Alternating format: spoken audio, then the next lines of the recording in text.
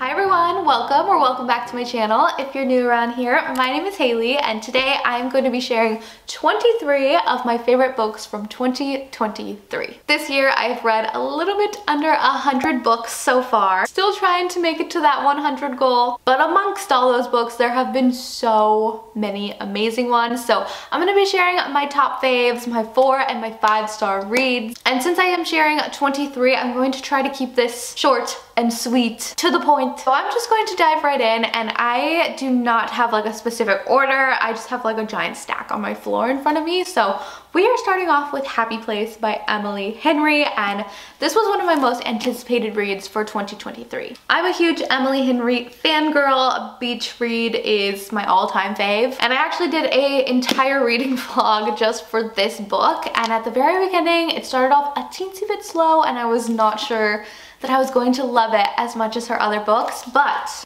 this one turned out to have such a special place in my heart. I love this book so much and I like obviously the romance in here. We have like fake dating, which is one of my favorite tropes, but also just like the entire storyline of this romance was a little bit different. They were together, they broke up, they didn't tell anyone they broke up. They had to pretend that they were still together on this big trip with friends. But what I really enjoyed from this book was that it wasn't just romance. It had a whole storyline about friendship and growing up and moving on. Having this one solid friend group for years and then just kind of slowly drifting apart because of life and you're going through different milestones and on different paths. And I just found this one so incredibly relatable and just beautifully written like all of Emily Henry's books. But this one is just so special and I, I really, really enjoyed it. Then I have Magnolia Parks by Jessa Hastings and it took me a minute to get into this one. Not get into the book because like right away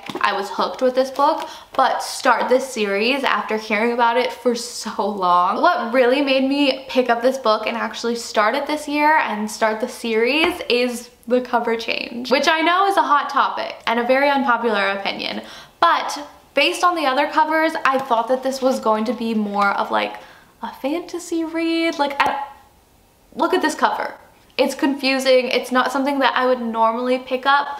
Whereas this one, it looks Gossip Girl-esque, a little scandalous. It pulled me in. And I get it. This was like the most frustrating book ever, but I was instantly hooked and it is such a crazy, salacious sort of story. I now have all the other books in the series and I will be finishing that series before the end of the year. Then I have Stone Cold Fox by Rachel Koller Croft and this was so fun. This is actually a debut novel. The main character's mother was like a long haul con artist just going from man to man, conning her way, getting their money, and then leaving them in the dust. So when the main character Bee grew up, she was like, I will not be like my mother, but I will definitely con my way into a rich family and get that security. This is one of those books where you will probably hate the main character, but I swear you grow to love her and I just, I really hope there is a sequel to this book because I fell in love with Bee and her crazy life. And in here you kind of get past and present tense of what she went through growing up and how evil her mother truly was. And you start to feel for her. She is not her mother and maybe she's not the best person, but I have a soft spot for her. I also really like the cover on this one. This one I have mentioned five million times this year and I have gotten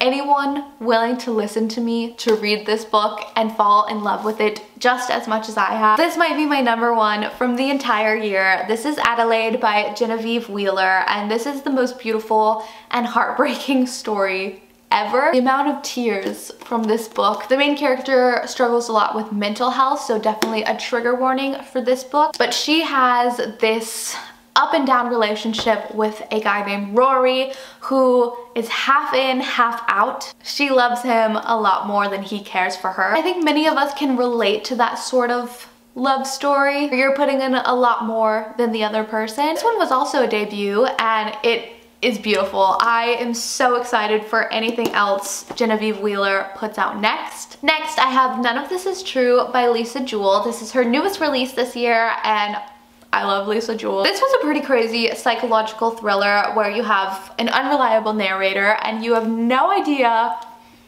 what is going on? Even when you get to the very end, it's like, I have no idea what just happened. This book was specifically really cool because you have a podcast transcript that you're reading through that is in present tense. And so the story that's unfolding that you're reading throughout the rest of the chapters, which is dual point of view, PS, between the podcaster and then the woman that the podcast is about. You're reading about the story that this podcast podumentary is based upon unfolding in the past and then it just kind of skips and gives you little snippets of what is going on. I think I explained that really terribly, but it is it is so fun. This is one of those unputdownable books that I ended up reading in a single day. It was so good. Then I have Maame, and this is another one of those books that I just recommend to everyone, especially if you are in your 20s, forging your own path. This book is incredibly relatable. It's all about the main character trying to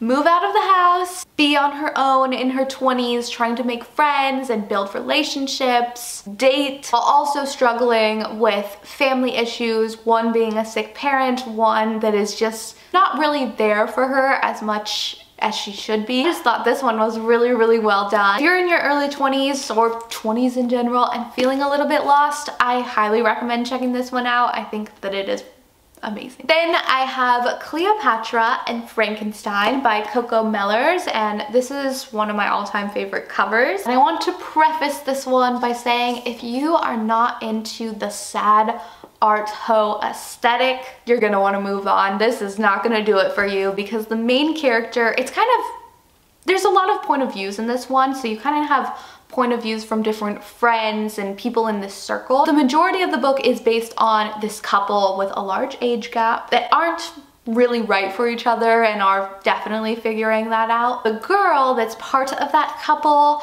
is just the ultimate sad art girl. I can see most people hating her. This one also is very heavy into mental health and definitely huge trigger warning for this book. I really enjoyed all of the different voices throughout this book. One of the reviews on the back describes this as a devastatingly human book and I just feel like that is the perfect description because this is just so very raw and real and very relatable. And actually jumping off that book, if you have read that one and enjoyed it, I recommend Thirst for Salt by Madelaine Lucas. This has like a very similar vibe to it where the main character is very artsy, sad girl. This is all about a couple with a huge age gap and it details their meeting and their entire relationship and then the ending of their relationship and it really is a sad book. Honestly, this is kind of if Adelaide and Cleopatra and Frankenstein had a baby because the male main character in this book, the much older man, he definitely could take or leave this relationship. He seems very half in, half out. So reminiscent of Adelaide. This is another one that I just really loved. It kind of felt like poetry at times. I love a sad girl main character. Honestly, I do have a few more books in that realm. But I'm gonna move on into You Again and this, oh my gosh, I love this book and I know there's so many mixed reviews, but this book gave me life. It's often described as like a Harry Met Sally sort of vibe. This one is more of a time jump storyline where these two meet over and over again over the course of like a 10 year time span. And they're just always getting off on the wrong foot. They do not like each other. But on one of those run-ins, they're both very down on their luck and they decide to just, you know what, let's hang out. I wanna be alone, so I guess I'll hang out with you. So it's like an enemies to friends to friends to lovers. I just love this book and I love these two. Ari is like a very crass comedian. She is just so funny, very vulgar, no filter on this girl. And Josh is a little bit more reserved. He's kind of shy. He comes across very moody, very grumpy. I don't know, they just work. They make sense. Then I have What Lies in the Woods by Kate Alice Marshall, and this was such a wild thriller. A lot of people compare this one to We Were Liars, but personally, I hated that book. So I would never compare that to this. But this group of three girls were liars in their youth. They had played in the woods when they were younger and then sent a serial killer to prison and years later they're reflecting on that event wondering if they put the right man away, and wondering if they did the right thing in general. So throughout the book, you're kind of trying to solve or figure out what happened all those years ago. And it sends you on a wild ride. There are so many twists and turns and I absolutely never saw the end coming. This one was really, really good. Then I have Everything I Know About Love by Dolly Alderton, which is actually her memoir, but it's not written like a typical memoir, which makes it so fun. It kind of feels like a journal. The first chapter is everything I knew about love as a teenager, and she's just really funny. I think Dolly Alderton is absolutely hilarious. This is one of the most relatable books you will ever read. The Bad Date Diaries. She also talks a lot about going through an eating disorder, so trigger warning there. Everything I Knew About Love at 21, My Life as a Third Wheel. Also throughout this book, she has various lists. Like this one is things I'm scared of and it says dying, people I love dying, drunk men on the street. And then there's also a lot of recipes in here. This one is got kicked out of the club sandwich. I don't know. I think this book is great. And there is a series on Peacock. I still haven't watched it. So I need to do that soon. Then I have Happy Hour by Marlowe Granados. And this was so fun. It kind of feels like a memoir where I had to literally Google and see like, is this about the author? And the answer is loosely Yes. Honestly, I need to put together a list of like books you need to read in your 20s because this is among that. This book just details the adventures of a very confident main character living in New York and she's just barely scraping by. She is just there for the vibes. She's a couch surfer, she sells clothes at like vintage markets, and yet she lives lavishly. This book is kind of all about what it's like to be young and living in the city. This one is kind of written like a journal, like here's July, and it'll have like July 9th. And it's super short, so it's like a very quick, easy read. It's under 300 pages, so good. Then I have Mary Jane by Jessica Anya Blau, and this is the ultimate beach read. It was such a feel-good, cute story. The main character is a sweet little church girl. Her mother and father do not talk to her about real things. One of those like don't ask, don't tell sort of situations. They're not very open about sex. She's not allowed to listen to certain music. They're very strict. And so one summer she ends up babysitting or nannying for a very unorthodox family. The dad is actually a therapist and he ends up having a client come and live with him because he is a very high profile rock and roll star. So everything's gotta be under wraps. This summer, Mary Jane is exposed to sex, drugs, rock and roll, just a whole new world for her. So this is like a coming of age story and it is it is so cute and I just loved Mary Jane. I love the entire family. I want to be part of them. And it's all based in 1970s Baltimore. Then I have My Last Innocent Year by Daisy Alpert Florin. And if you have read My Dark Vanessa, this book is in that same vein and 1000% huge trigger warning for this book. This is the point of view of a young woman who was absolutely taken advantage of at a very young age. And growing up, she is finally understanding what is happening and finally owning her truth. That's not an easy thing to come to terms with. So this is a heavy read. The characters in here feel very real and I think it really highlights consent and coercion. Unfortunately, I do think that a lot of women can relate to the main character in this book and just the events throughout. I thought it was very well written and another one with a very cool cover. This one, it feels like I have read so long ago. I can't believe that it was only this year, but this is If He Had Been With Me by Laura Nowlin, and I believe the sequel comes out in the next few months, which is I'm so excited. This book had its moment on BookTok for sure. I feel like everyone and their mothers have heard about or read this book by now, so I'll keep this short, but this is mainly about a girl in high school who grew up very close with a boy. Their parents are good friends. They were always together, but then they grow apart, as most people do when they enter high school. But my goodness, this book tore my heart in half. I cried so hard. My sister is actually in high school right now and I forced her to read this book and she fell in love as well. So I do recommend this one, especially if you are younger and in high school because I definitely think this book is more geared towards that age group, but I loved it all the same. It hurt my heart.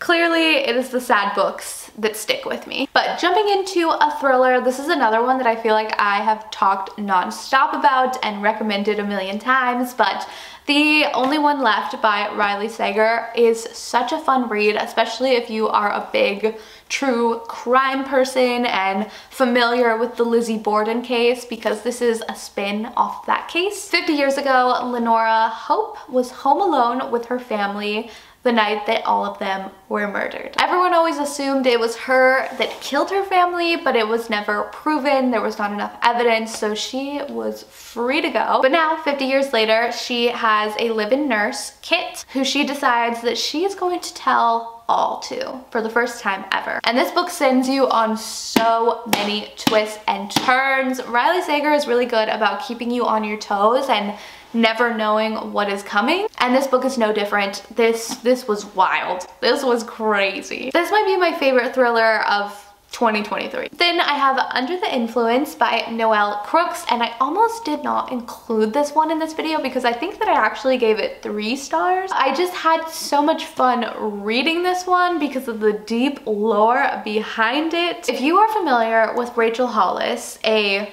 real life wellness sort of guru, self-help guru, and you're familiar with all of the drama that happened with her a few years back. Noelle Crooks actually worked under Rachel Hollis, and so there is quite a bit of truth to this fiction novel, which makes it all the more fun. So a lot of deep lore references in here. If you're not familiar, honestly hop down the Reddit rabbit hole because that shit is crazy. But the background is what really made this book so enjoyable. Just knowing that all of the craziness in here is somewhat true. Madness absolute madness. Next, I have Exes and O's by Amy Lea, and this book was so much fun. This is so cute, and Valentine's Day, I'm gonna say it's coming up because it is coming up. We got a couple months, but this put this on your TBR. This was such a cute Valentine's Day themed book. The main character is a bookfluencer. She's had her heart broken numerous times. She has not given up on love and in fact wants to try her luck at her very own second chance romance. So she goes down memory lane and basically redates these past boyfriends. She enlists her hot firefighter roommate to help her along the way and of course I'm sure you can see from a mile away what happens here but Trevor is one of my all-time fave book boyfriends. And Amy Lea's writing is just so very cute and very funny. This is just like a really cute little rom-com. Another thriller, this is one that I actually just finished. This is The Golden Couple by Greer Hendricks and Sarah Pekkanen. This one also has a bit of an unreliable narrator. While some of this is a little bit predictable. I felt like it was a really good psychological thriller. You have dual point of views, one of a woman in a couple. She's just cheated on her husband and they're going to therapy together. And the other point of view is the therapist herself who is very unorthodox and actually just lost her license. But their lives are so intertwined somehow. This whole book, you're just kind of untangling this crazy web. Like how is everyone connected in here? What is the truth? Are they telling the truth? I don't know. This one had me hooked. I really enjoyed it. Okay, I'm down to my last four and I don't have the physical copies because I loaned them out to my mother and my sister because the first one is actually Meet Me at the Lake. This book also had mixed reviews because the whole premise is that these two main characters met like 10 years ago. They had a really amazing day together. They never talked again. They were supposed to meet up at the lake, but it never happened. Now, 10 years later, they have met again. Obviously, people are like, how are you falling in love with someone over one day? That is not important, okay? The book is cute and that is that. I love this book. Every Summer After is one of my all-time favorite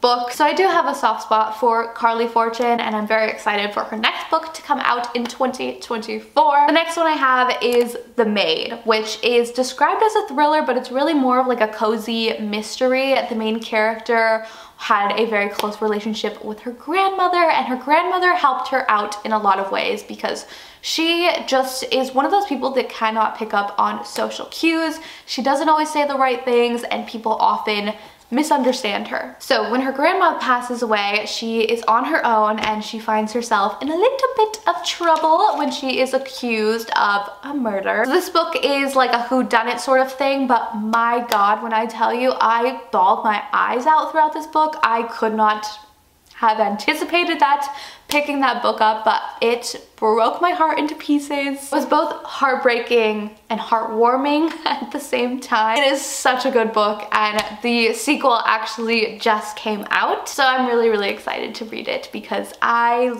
I loved her character. I also have His and Hers by Alice Feeney and my girl Alice Feeney, I love her so much. She is really great with psychological thrillers as well, and this one was about a cop and a news anchor being connected somehow to a murder. This is another case of an unreliable narrator, which I am finding out that I quite like. That is probably one of my favorite thriller tropes. It's jam-packed with twists and turns that you will never see coming and I really could not put the puzzle pieces together. It was really, really good. And the very last book is The Last Word. by Taylor Adams and oh my gosh this book had my heart racing my adrenaline pumping. The main character, she needed an escape some time away, so she is house sitting for someone. And while she's there, she is just reading, reading, reading nonstop because she doesn't really want to think about anything. She just wants to read shitty little books all day. And on one of them, she leaves a one star rating. The author sees it and is in like a full-blown comment war with her. Immediately after all this, strange things start happening in the house and she's like, oh my god, this author is after me. What I really enjoyed about this book is that you have the point of view of the girl, the woman. Also, the point of view of the author as if he is writing another book about what is going on. So that made it really fun because their stories are just not adding up. These are very different point of views. And the ending of this one, oh my gosh, broke my heart. I did not think that is what was going on there. It's another one that will keep you on your toes. And that wraps up 23 of my favorite books that I read throughout 2023. I'll have links to every book that I mentioned down below, so check that out before you leave. But thank you guys so much for watching, and I will see you again very soon. Bye!